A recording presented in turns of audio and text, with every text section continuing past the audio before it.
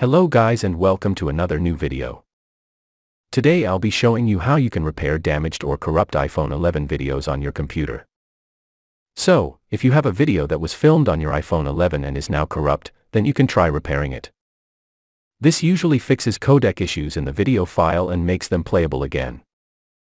Keep watching as I show you how to repair iPhone 11 videos. This is the software I'll be using to repair my video on my Mac. Here, you'll find two buttons. The first button is to select a good MOV file as a reference to repair your corrupt video. You can just randomly select a video that was filmed on your iPhone and select it here. The next button you see is to select the video that needs to be repaired. I'll now select both and repair the corrupt video.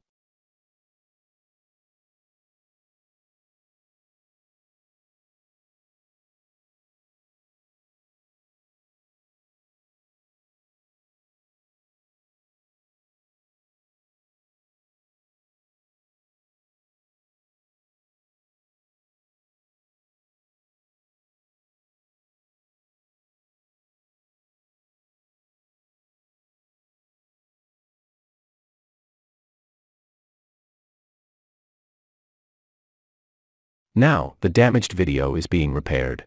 I'll now wait. The time taken to repair the video depends on how large the damaged video is. Larger the file, more is the time taken. Now all I can do is just wait for it to repair my video.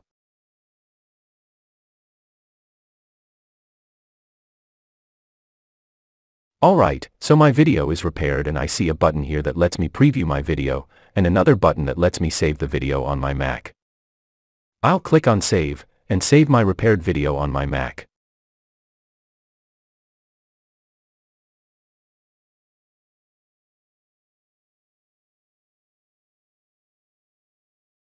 Let me open the folder and check if my video has been saved. Yes, here's the repaired video. So, this is how you can repair damaged or corrupt iPhone 11 videos using a repair tool. Do give this video a thumbs up if you liked it and I've provided the link in the description below if you're looking to download this software. Do leave a comment if you have questions and I'll answer them up for you. Thanks for watching and I'll meet you in another new video.